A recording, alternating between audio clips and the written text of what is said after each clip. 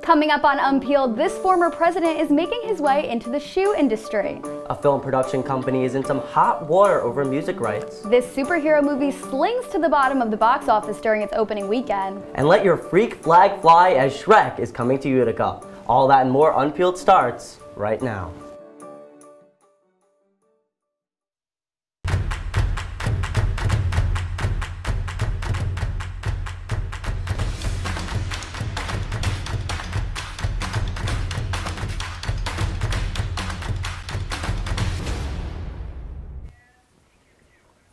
Welcome to a brand new episode of Unpeeled. I'm Kayley Decina. And I'm Charlie Goldberg. Now for an update on an iconic rock band's return to the movie screen. That's right. Beatles fans are sure to be twisting and shouting as British director Sam Mendes recently signed on to direct four biopics about each member of the Beatles. This comes after Apple Corps, Paul McCartney, Ringo Starr, and the families of the deceased members gave full rights to their life stories and music. Mendes is known for his documentarian success in the 1917 movie, as well as for his work in the James Bond series. He is, quote, excited to challenge the notion of what constitutes a trip to the movies. Sony Pictures Entertainment is scheduled to release the films in 2027. Kayley, 2027, a long time coming away. We have a little bit. However, it's still very exciting. Biopics are on an upwards trend right now. The public loves them, and it's about time the Beatles get a film of their own. I couldn't agree more. I mean, we have so many good ones Bohemian Rhapsody, Elvis, we have Michael Jackson's movie coming out in 2025. But the Beatles, I mean, this is so exciting. Not one, but four. And I love biopics. I feel like they just show us that side of these stars and historical figures that we haven't gotten to see that behind the scenes. So I'm really excited. Me as well, but there are challenges here. Yeah. Now there is four different films being made with the same plot line, same characters, just different perspectives. There could be some issues with fan engagement. Yeah, I mean, I can't help but wonder how they're going to make them so different and how much information from individual perspectives they're having to gather. But I'm sure it's going to be amazing. I'm kind of curious if people are going to see all four or just pick and choose. Well, if people have a favorite Beatle, they're definitely going to pick one over the other. Probably. But we'll wait till 2027 we have, see. We have a little bit, as we said. In other news, former President Donald Trump is expanding his business into the shoe industry. In a surprise appearance at SneakerCon, Trump unveiled the new Never Surrender high tops for almost $400. The launch of the sneakers comes a day after a judge in New York ordered Trump to pay $355 million in penalties for fraud and another 85 million in a defamation lawsuit, now totaling almost half a billion dollars. Outer Banks actor Austin North was arrested last week after allegedly assaulting medical staff at a hospital in Las Vegas. According to the police, North was charged with three counts of battery on a, on a protected person, and the hearing is scheduled for March 19th. In a statement, North said he does not remember the events at the hospital and has struggled with panic attacks and anxiety for years. He apologized for his actions, saying, quote, I have the utmost respect for healthcare workers and hospital staff. I mean, this is really, really sad to see. Obviously, violence is never okay, but it does seem like there's more to the story here than the original headline is giving off. I mean, I think it's really easy to judge, but clearly he was going through a very serious mental health crisis. So I also think it's really important that he's opening up the conversation and can change how people view mental health. It is important to start talking about anxiety and mental health, but it's also important to realize that people were hurt in this situation. Let's just hope all for the best for the people who were hurt and that this never happens again. Completely agree. In other news, the British Academy of Film and Television Arts Awards took place on Sunday night. Oppenheimer won seven awards, followed by Poor Things, which won five, and Emma Stone won Best Actress. The Rising Star Award was one of the most competitive of the night. Actors such as Ayo Edebiri and Jacob Elordi were nominated, but actress Mia McKenna Bruce ended up taking home the award. Many critics predict that the winners are likely to receive an Oscar on March 10th. And Billie Eilish sparked controversy at this year's People's Choice Awards. While being filmed, Eilish unapprovingly said, quote, there's so many TikTokers here to fellow singer Kylie Minogue. After noticing the cameras were on her, Eilish covered her mouth, attempting to block the rest of the conversation. Viewers took to TikTok and X to agree with Eilish, while TikTok star Bryce Hall used his platform to sarcastically apologize to Eilish. In the video, he said that he was sorry for not acknowledging her greatness or bowing down to her. He even, waked up, he even wiped a, a fake tear from his face. He voiced that she should direct her anger at an award show that isn't involving TikTokers. Yeah. Now I'm looking at this story, And well, I'm seeing two different worlds. I'm seeing a world on an app with TikTok, and I'm mm-hmm. seeing a mainstream world. I could see the confusion. I could see the confusion. And listen, I see how celebrities might not be super ecstatic about these TikTokers being at these award shows, but we can't ignore the fact that TikTok has grown tremendously. So many people have grown platforms and gained followings, and ultimately, they're there for a reason. They were invited. So whether it's to increase younger viewership or just mix things up, I'm not sure. Absolutely, and this is new. It's unprecedented. Yeah. There's a major influx of TikTokers coming to a big mainstream event. I think that Eilish was more, you know, confused rather than being concerned. Hall just took things to heart. I mean, completely. She didn't even mean to get heard saying this, so she's probably pretty surprised at the drama that's erupted from it. I know that he's had not one, but two posts about the incident, so he's definitely taking it, hope, kind of the wrong way. Yeah, nobody can have a private moment anymore, Kayley. well, this is certainly not going to be private. After the break, we're discussing how Whitney Houston's biopic has run into legal trouble. and we may be witnessing the return of live TV. Don't go anywhere. We'll be right back Unpeelers.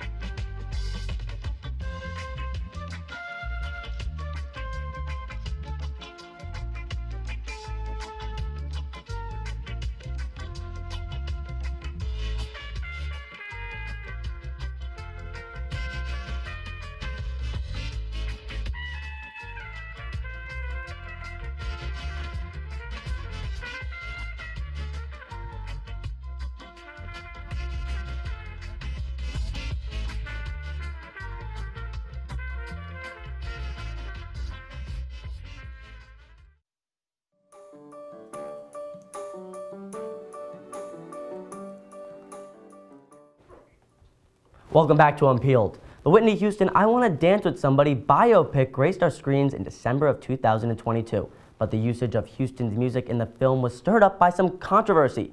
Here to discuss the new lawsuit between Sony Music and the producers of the film is our industry reporter, Riley Lucetta. Riley, it's an honor to be sharing the desk with you. Thank you for having me. All right, now let's talk about this lawsuit. Give me the full breakdown of what happened. So, on Thursday, Sony Music conducted a lawsuit against the production team of the Whitney Houston biopic. Now, these three production companies were um, Anthem Films, Black Label Media, and Nibo Productions. Now, this lawsuit came to be because um, 20 of the songs utilized in the film were never licensed properly or paid for. Now, music is obviously a huge part of this film due to Houston's phen- phenomenal career, and it's crazy that it was never paid for correctly. Yeah, you would think that, you know, in a big movie business, people would realize that they need to pay for things. Anyway, let's talk about the timeline of this lawsuit. Give me the real rundown. Yes, so the film came out in 2022, and in August and October of 2023, Sony reached out to the production team about how they have not conducted a payment. Now, Anthem Films came forward and said that they were planning on it, but two years later down the line, nothing has changed. Now, Sony Music Production legal representative said it is clear that there is no license or authorization to use some recordings used in this film. Now, this is obviously a huge issue, and Sony has lost a lot of money due to this issue. And I'm sure that the producers at Sony weren't too thrilled. Did they comment on what's going on? Yes. So Black Label Media came forward and mentioned that they were upset that they were even talked about in this lawsuit whatsoever. And this was because they see themselves as an investor of the film and not a producer. Now, Sony Music has not made any public statement about this, and neither has the other two production companies. Wow. Well, it seems like a mess, but hey, Whitney Houston's still great. Exactly. Anyway, we're moving on things to Kayley now. Thanks, Riley. Nowadays, more and more people are cutting their cable cords and watching shows through streaming services. But another form of TV is reestablishing its presence thanks to streaming. Our TV reporter Ben Dietrich explains why live television isn't going anywhere. Thanks, Kayley. Throughout the last 10 years or so, the TV industry has shifted a certain direction, and that direction is towards streaming services. Whether it's due to the lower overall cost of subscriptions compared to cable, or the more convenient method of watching what you want, when you want, the streaming takeover is real. But in an ironic twist, the increase in streaming is bringing a more traditional form of television back to the limelight, live TV. This year's Super Bowl was the most watched event in the United States since the moon landing, with over 120 million people glued to the TV watching it live with friends and family, whether it was for the game, for Taylor Swift, for Usher, or even for SpongeBob. Aside from CBS and Nickelodeon, Paramount Plus made it possible for digital viewers to watch the game. And last week, The Daily Show with Jon Stewart drew close to 2 million viewers, the most for the show in six years. Not to mention the Oscars are coming up in a few weeks, and that will undoubtedly attract millions of viewers as well. Simply put, we are witnessing a live TV renaissance. Streaming services have realized that there isn't anything quite like catching something in real time. Whether it's getting together with your friends and family and watching a season premiere of a show you all love, or maybe even catching a brand new episode of Unpeeled, these are moments that can never be forgotten. And because of this, streaming services have begun to take advantage of live TV. Hulu, Apple TV Plus, Peacock, and many more are now streaming live sporting events. Max has a live CNN feed for news, Netflix hosted the Screen Actors Guild Awards, and the Oscars will be available on Hulu and YouTube TV this year. Streaming services are still the in thing right now, but many are starting to shift their interest towards live TV, which may very well be in a comeback season. But Kayley, I'm hearing it's not so good news for Xbox. Is that true? Well, when we return, we're learning how a superpower in the esports world might soon be off the market. And Madame Web needs a hero to save it in the box office. Stay with us Unpeelers. We'll be right back.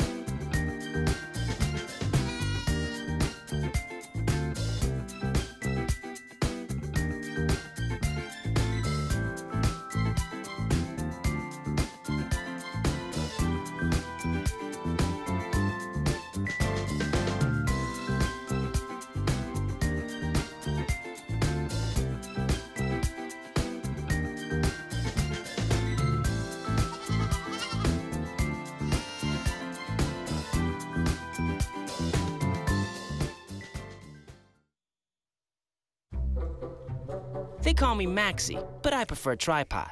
I was your above average four legged homie and then wham bam minivan. Some people pity me. Now that's lame. I still run, fetch, and swim. And the ladies love me. I'm the ultimate wingman. Just don't ask me to high five.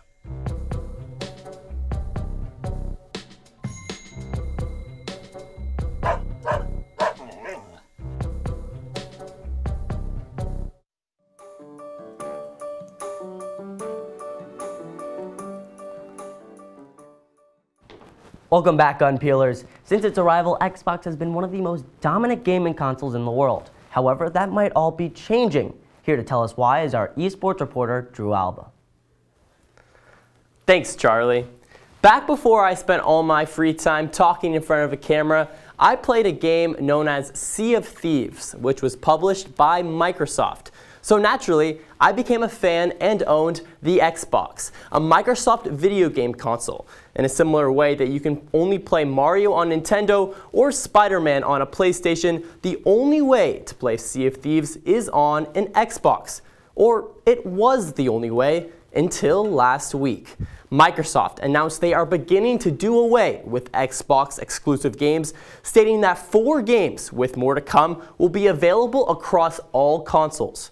With the move to get rid of game exclusivity, the Seattle-based company is sending the message of prioritizing franchises over hardware. It used to be that Microsoft would release exclusive games in order to drive up console sales, but now the contrary is happening. With game exclusivity becoming a thing of the past, Microsoft is emphasizing the importance of their game franchises reaching the largest group of people possible.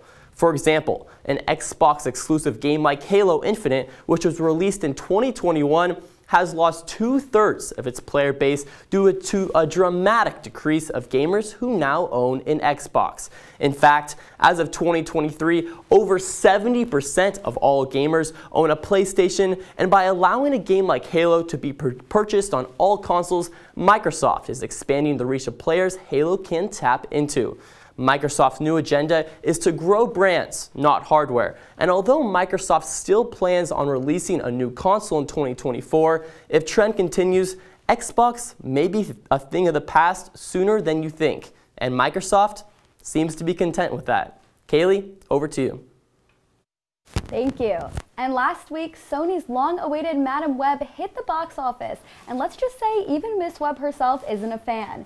Here to tell us why Dakota Johnson hates her latest movie is our pop culture reporter, Julia Bosses. Julia, thank you so much for being here. I'm so excited to chat with you. It's so great to be here, Kayley. Thank okay, you. Okay, so please tell us how was the first week in the box office?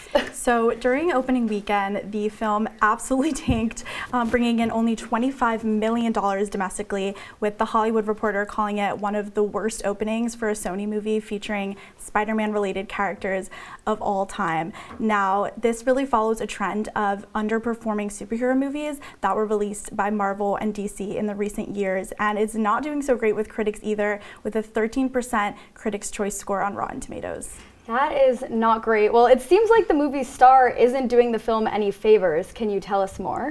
That's right. So Dakota Johnson, who plays Madame Web herself, is not quite selling the movie during the press tour. In an interview with Magic FM, she said that she will not be watching the film as an act of self-care. She also went on to say that she was skeptical about signing on to the project in the first place and that the script went through drastic changes um, since she signed on. So let's take a look. I'm really curious, like, how much did this change from start to finish? Like, from what you read and you signed on for Madame Web to what we see on screen? There were drastic changes. and I can't even tell you oh. what they were. That is certainly interesting. Okay, well, how have fans been reacting to the press tour? Yeah, so on TikTok and all over social media has been exploding with fan reactions to not only the movie itself, but also the press tour. Countless memes and impersonations of Johnson have been going viral, as well as some not so favorable fan reviews of the film, with some even going on to say it's one of the worst movies ever made. That's really, really rough. Okay, thank you so much, Julia. Thank you. And when we return, we're singing Viva Las Vegas as the city becomes a sports capital. All that and more in just two minutes.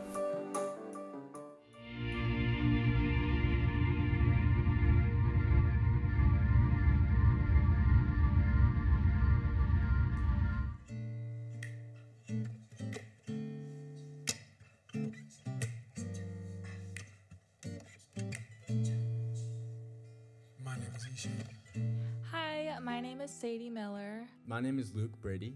Uh, I go by St. Luke.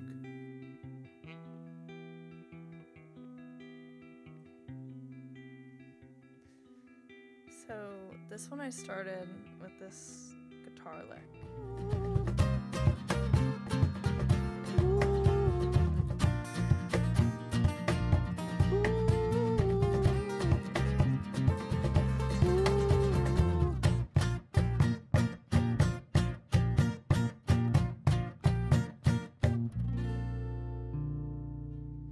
Welcome to my house.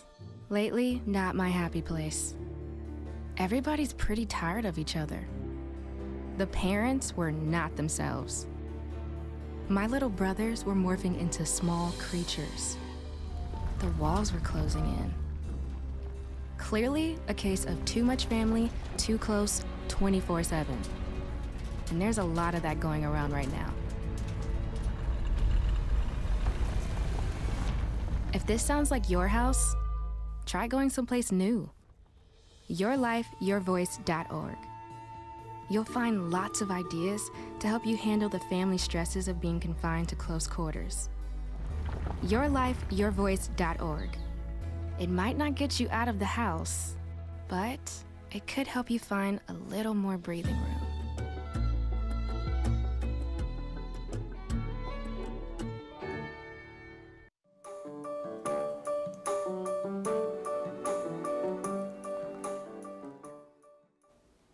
Welcome back to Unpeeled. Cities like New York, Los Angeles, and Miami have run the sports world for years.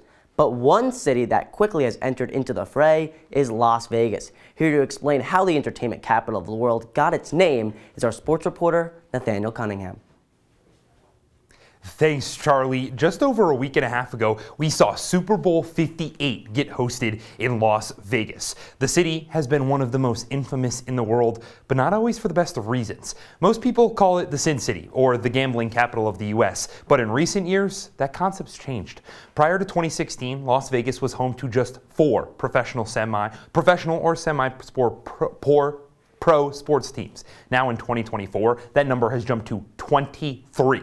It all started back in 2017 when the NHL decided to add an expansion team called the Vegas Golden Knights. Most expansion teams in any sport fail to see immediate success, but the Knights reached the Stanley Cup Finals in their first season. As a result, teams started to flock to the newfound sports capital. In 2018, the then San Antonio Stars became the Las Vegas Aces. Fitting, right? Two years later, the Oakland Raiders chose to move south, calling themselves the Vegas Raiders, and this completed the trifecta of basketball, football, and hockey.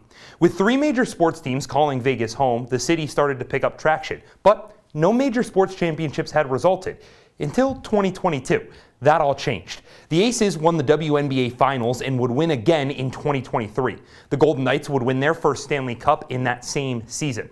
One of the biggest sports in the world, Formula One, announced it would have a race in Vegas at the end of the year, and then the NFL announced that Vegas would host Super Bowl 58. All the success within a decade saw Vegas bloom to what it is today, and now, in just four years, we could see the city at its first MLB team as the Oakland Athletics put in a bid to become the Las Vegas Athletics in 2028. Whether you dislike the city for its questionable past or you praise it for its economic impact, one thing is certain. With the soon to be fourth major sports team, Las Vegas has truly become the entertainment capital of the world. With so many incredible sports in one city, I figured I'd take a trip. But Kayley, I got a flight to catch. Oh, I hope you catch your flight, Nathaniel. Thanks so much. And it's a big, bright, and beautiful world because Shrek the Musical is on tour. Everyone's favorite big green monster will be visiting Central New York. Here to tell you everything you need to know from the background of the musical to how to buy tickets are Broadway and Syracuse events reporters Charlene Nomini and Tegan Brostrom. Guys, it's so great to have you here. I can't wait to hear everything about Shrek the Musical. Okay, Charlene, first for you. Can you tell me a bit about Shrek the Musical? Of course. Well, Shrek the Musical has actually been revised for the first time since its first national tour. So it's going to be all new choreography and all new direction from a brand new director. And obviously, it's based on the original DreamWorks musical released in 2001 and was adapted into a musical only seven years after it first came out, which just shows you how insanely popular the original movie was. It first premiered in Seattle and then tr got transferred to Broadway less than a year after its premiere, racking in 20 awards nominations, including Tonys and Drama Desk Awards. Wow, okay, so Shrek is clearly a really amazing musical, but can you both tell me where can we get tickets to see it this time around? Of course. Um, Shrek the Musical on tour will be in Utica from the 24th to the 25th, and tickets are available on the Shrek the Musical tour website. Okay. They'll also be available on BroadwayUtica.org, and I think we can all agree that we're really excited to see this childhood classic on stage again. I love that. And Tegan, are there any other events for people who can't make it to the musical? There are, and one of those events is traveling around America right now, and that's the Shrek Rave. It'll be stopping by in Albany on March 16th, and this event features DJs and live performances, all themed to Shrek and the movies and songs. Swamp water will be served, and all are encouraged to dress up in their favorite Shrek attire. So, all of us here at Unpeeled and all over the world are excited to have all these Shrek events happening. Wow, I think I'll have to do a field trip. Okay, thank you guys so much. And good luck, Charlie. They have been off the air for years, but one star has had an astronomical rise to success. You won't want to miss it. Jordan knows he shouldn't eat this entire bowl of nachos, but tonight he's earned that right. Because a few hours ago, in the middle of happy hour, he recognized a sign. Not from the gods or a bolt of lightning, but from a double heart, a kissy face, and a fourth ha in ha ha ha. That's when Jordan knew he was buzzed. So when it was time to go, he got a ride home instead of driving. Be a legend like Jordan. Recognize your buzzed warning signs and get a ride home. Buzz driving is drunk driving. Hey Bobo, do trees tell each other stories? I'm sorry. I'm afraid I don't know that. Hey, why don't we go find out? Listen. Can birds draw pictures? I don't have an answer for that. Dad, do stars visit their friends? Look!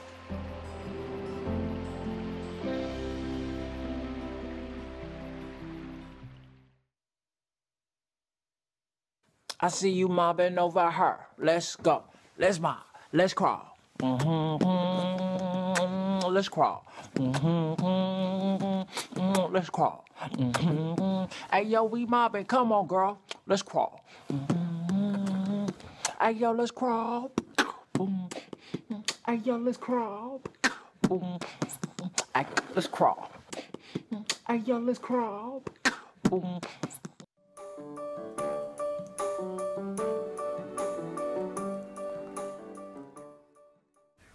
From child actor to CEO, this Good Luck Charlie star has done it all. Bridgit Mendler announced on Monday that she is now the CEO of the startup company Northwood Space. The company has already received $6.3 million in initial funding. On the same day, Mendler also announced that the social media platform X, she is a mother. She adopted her now four-year-old son in 2022 and said, quote, being a parent is the biggest gift and the most defining experience there is. Now, you know, you see these childhood stars come into their shows when they're kids and mm-hmm. kind of be stuck in this vortex where they can't really get out of the childhood fame. However, it's great to see that Mendler is not only surviving, but thriving out of the oh, vortex. thriving. She can do it all. And let me just say about her being a mother, she was such a good sister to Charlie on Good Luck Charlie. So I know she must have learned some amazing parenting from Amy Duncan on the set, and she knows what she's doing. But just speaking to about Bridgit as a role model, I mean, I've never seen really a Disney star or a child star take this route, you know, get her further education. And I mean, being a CEO and working with space, she's incredible. Yeah, people thought she, you know, fell off the grid, but not only was she off the grid, she was grinding oh, yeah. off the grid. Yeah. And now she's in this huge position, and, you know, we couldn't be happier for her because I know she's watching Unpeeled 100% right she now. probably, she's right here with us right now. Oh, yeah, absolutely. But she is amazing. I mean, I loved Good Luck Charlie. I loved her role. This is a little more niche. Her role on Wizards of Waverly Place as Juliet, the vampire.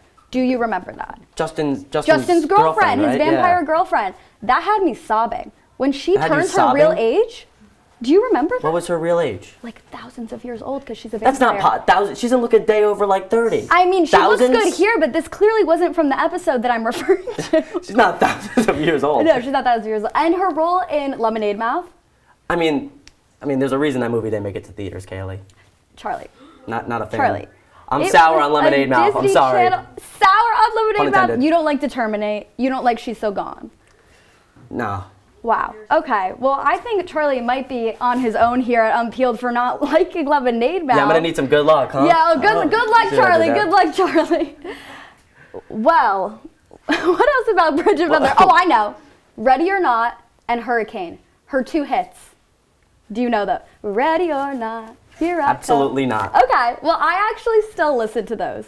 Well, those aren't bangers, but I'll tell you what are bangers. They didn't make it to the radio either. anyway, okay, unfortunately, that is all the time we have with you tonight. Thank you for tuning in. Make sure to follow us on all our socials at Citrus TV on X and at unpeeled underscore Syracuse on Instagram. I'm Charlie Goldberg. And I'm Kayley Decina. Good luck, Charlie, and stay classy, Syracuse.